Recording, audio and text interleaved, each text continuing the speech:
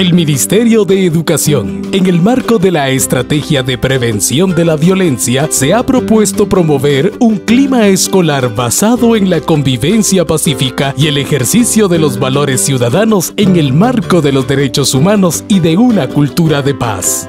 Para esto, se ha realizado una serie de investigaciones a través de la Dirección General de Evaluación e Investigación Educativa, DIGEDUCA. Los hallazgos de estos estudios han sido punto de partida para diversas propuestas y herramientas para prevención de violencia. En seguimiento a esta línea de trabajo, se presenta la primera encuesta nacional sobre violencia y clima escolar, que se realizó con el objetivo de caracterizar las manifestaciones de los tipos de violencia y el clima escolar de los establecimientos educativos oficiales de primaria, básico y diversificado del país.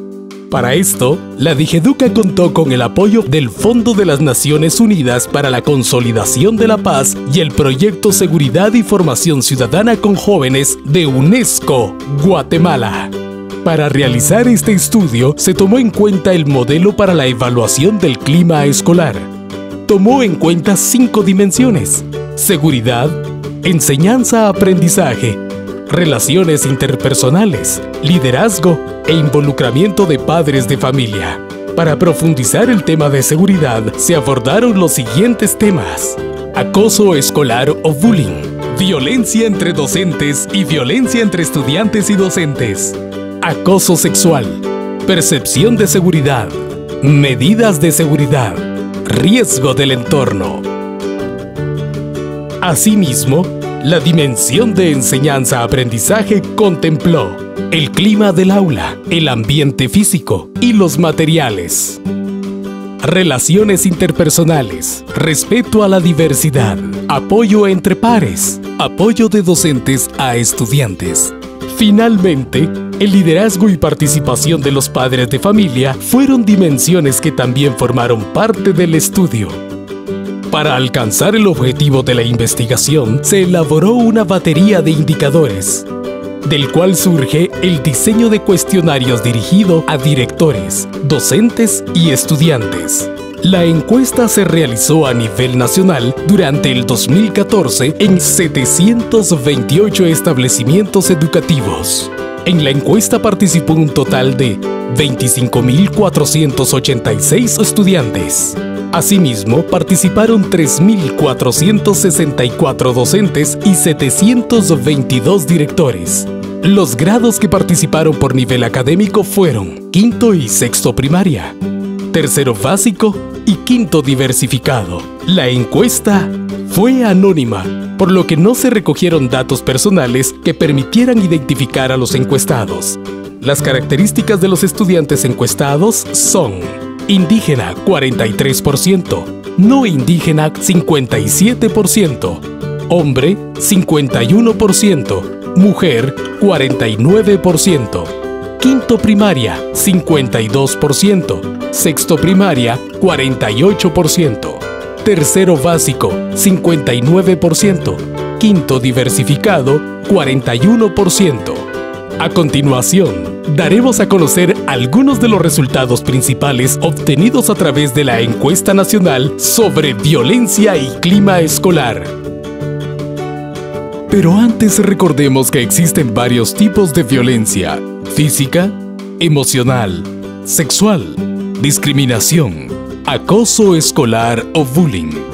Veamos a continuación algunas de sus manifestaciones en la comunidad educativa. Los estudiantes reportaron que la violencia emocional es mayor entre sus pares y los docentes, seguida de la violencia verbal y por último, la física. En cuanto al acoso escolar o bullying, entendido como el tipo de violencia que se manifiesta entre compañeros de forma repetitiva con la intención de intimidar y hostigar caracterizada por el desbalance de poder. La encuesta reveló que el 14% de los estudiantes, tanto del nivel primario como del nivel medio, son víctimas del acoso escolar y de cada 10 estudiantes del nivel medio, 3 de ellos reportaron haber sido espectadores del acoso escolar. El acoso escolar o bullying en el nivel primario se manifestó más en el departamento de Santa Rosa, seguido de la ciudad de Guatemala y el departamento de Guatemala. Pero en el nivel medio se encontró que el acoso escolar se manifestó más en los departamentos de Totonicapán, El Progreso y Zacatepeques. Ahora veamos qué departamentos reportaron menos acoso escolar en el nivel primario. Estos son Retaluleu, Totonicapán y San Marcos. Y en el nivel medio, los departamentos con niveles de acoso escolar más bajos fueron Petén, Izabal y Zacapa. Encontramos que conforme los estudiantes avanzan a grados superiores, los reportes de violencia también incrementan. Los estudiantes hombres señalaron estar más expuestos a ser víctimas en la escuela a diferencia de las mujeres. Sin embargo, los estudiantes hombres son quienes más agreden a sus compañeros y a docentes. El acoso sexual es otro tipo de violencia que ocurre cuando los estudiantes reciben solicitudes, mensajes o comportamientos de tipo sexual tal como contacto físico no solicitado, insinuaciones y exigencias sexuales de forma verbal o de hecho por parte de otra persona. En el nivel primario y en el nivel medio, dos de cada 10 estudiantes son víctimas de acoso sexual. El lugar donde más ocurre el acoso sexual es en el salón de clases. Los estudiantes indican que quienes más les acosan sexualmente son sus mismos compañeros. Las conductas antisociales son comportamientos que van en contra de las normas sociales. La encuesta también identificó algunas de las conductas antisociales más comunes en los centros escolares. De 10 estudiantes de quinto diversificado, Tres estudiantes reportaron haber observado consumo de pornografía. Tres estudiantes reportaron haber observado consumo de drogas o alcohol. Tres estudiantes reportaron presencia de pandilleros en los alrededores del establecimiento. A los participantes se les preguntó sobre la percepción de seguridad que tiene en la escuela. De esto podemos decir que uno de cada diez estudiantes indicaron que tienen temor a ser víctimas de la violencia o delincuencia en la escuela. Y dos de cada diez docentes reportó temor a ser víctima de la violencia o delincuencia en la escuela.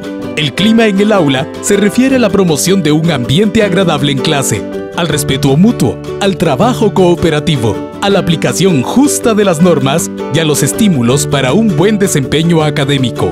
Al referirnos a la percepción del clima del aula, para los estudiantes es más positiva en el nivel primario que en el nivel medio.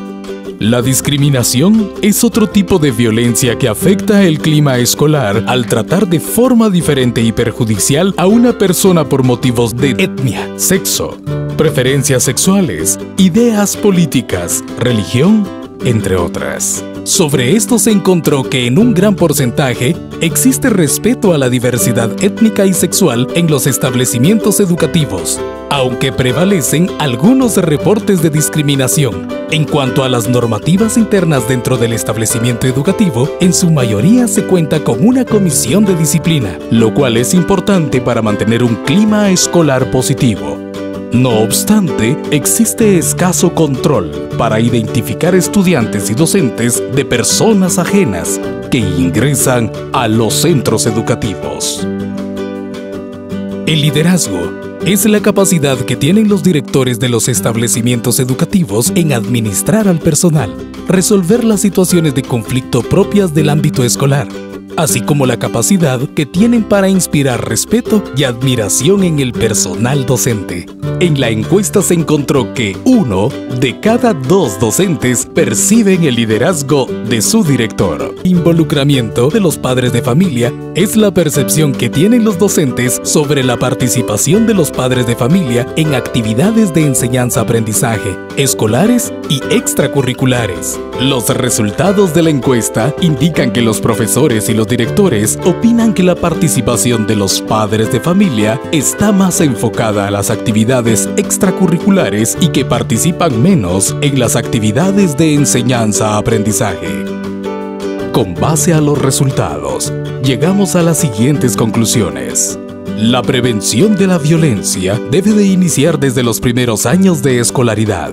La evidencia indica que hay una alta tendencia a la violencia y acoso sexual entre pares. Los docentes son victimarios, pero también víctimas de violencia. El respeto a la diversidad es crucial para que el clima escolar sea favorable al proceso de enseñanza-aprendizaje. El liderazgo ejercido por los directores de los establecimientos educativos resulta ser un elemento central para el clima escolar. La participación de los padres de familia favorece el clima escolar. Con base a los hallazgos de la primera encuesta nacional sobre violencia y clima escolar y como una forma de apoyar los esfuerzos de el Ministerio de Educación para prevenir la violencia, la Digeduca diseñó el modelo pedagógico para la prevención de la violencia y convivencia pacífica a nivel del aula y centro educativo. El objetivo de este modelo es proveer herramientas y estrategias de acción para la prevención de violencia y la construcción de ciudadanía a directores y docentes de los establecimientos educativos del nivel primario.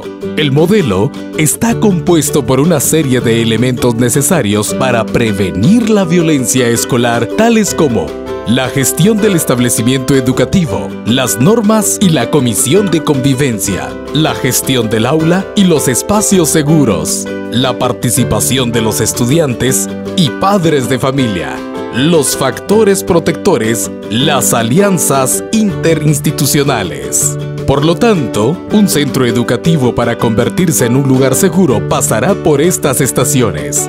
Organizar y gestionar el centro educativo elaborar un diagnóstico de la violencia, diseñar un plan de acción, promover las actividades y normas de convivencia pacífica, organizar y gestionar espacios seguros, atender situaciones y casos. Y evaluar las acciones. Todo lo anterior para llegar a la convivencia pacífica. Los directores y docentes encontrarán en este modelo para prevención de violencia diversas propuestas de actividades y acciones para implementar en su establecimiento educativo, tales como ideas para formar una comisión de convivencia, estrategias para hacer partícipes a padres de familia, crear un ambiente escolar con factores protectores y formas de promover una cultura de denuncia en el centro educativo. También encontrará una gama de recursos que el Ministerio de Educación ha elaborado para prevenir la violencia en los establecimientos educativos, tales como el convidiómetro, guía para la prevención del acoso escolar, protocolo de identificación, atención y referencia de casos de violencia dentro del sistema educativo nacional, el registro de incidencia de violencia y un directorio de organizaciones que trabajan en prevención de la violencia, entre otros recursos más. Recordemos que la niñez y juventud de Guatemala merecen un clima escolar positivo, libre de violencia. Para eso, la Digeduca pone a su disposición el informe final de la encuesta el modelo pedagógico para la prevención de la violencia y convivencia pacífica y los folletos informativos para estudiantes, padres de familia, directores y docentes, instituciones e investigadores. Primera encuesta nacional sobre violencia y clima escolar.